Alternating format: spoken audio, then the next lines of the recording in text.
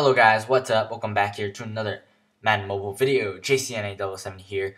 Hope you guys are having a great day. So today is Monday, May 2nd. I'm recording this video in advance because I know I'm going to be extremely busy tomorrow and will not have any time to upload any sort of video.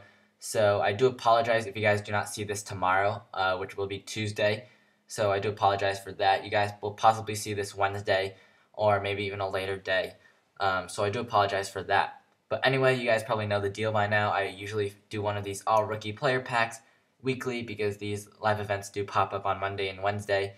And yeah, I pretty much complete those collectibles and open one of these packs each week. So, so far, um, it's been going pretty well. I think every time that we've opened one of these packs, we've gotten an overall higher. So last time we did get a 93 overall Stefon Diggs um, of the Minnesota Vikings. So let's hope we can get a 94. That would be absolutely amazing because I know they do so for a little bit of coins. And if you guys are wondering what those league tournament packs are there for, I'm going to be saving those up for a separate video solely dedicated to those league tournament packs. But anyway, let's go ahead and open up this all rookie player pack. Um, it's definitely going to be a quick video. All these videos I do with this all rookie player pack is going to be pretty short. So let's do a countdown from 5, 4, 3, 2, 1, and let's go. So 5, 4, 3, 2, 1, open. Oh my gosh, holy moly. No way. Okay, yep, Leicester City won. So congratulations to any Premier League fans. Leicester City um, won the titles uh, after Tottenham did draw the game against Chelsea today, if you guys are any soccer or football fans. But anyway, look at that. 96 overall TJ Yeldon. Uh, I definitely was not expecting a 96 overall. So they do go to a max of 96 overall. That's the highest um, overall card of an all rookie you can get. That's pretty sweet. Um, right there, 96 speed. Um, not as high as his Easter card, even though it's a couple overalls lower. His speed is like 99 on that one. But a 96 acceleration, 85 catch, 98 carrying, 96 elusiveness, um, 92 ball carrier vision. That looks like an absolute beast card.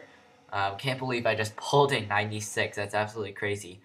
Um, let's go ahead and check out the price, might as well, because this video is going to be ending up to be pretty short. So let's go under auctions right here. We'll type in um, TJ Yeldon. Yeldon. Uh, we'll make sure it's at 96 overall. And let's see how much this card goes for. Holy moly, that could be a really good payoff. So, um, maybe a little over 100k is what this card will be listed as. Maybe see, uh, I'll see if it even goes for over 100k. So it does go for over 100k, so that's absolutely sick. Uh, probably over 100, maybe around over 120k will be the price of the card. Yep, it's around 110k. Um, you could get this TJ Yeldon, but that's an extremely good payoff uh, just by playing the live event. So if you guys need a decent way to make some coins, I do recommend playing the live event and open one of these packs.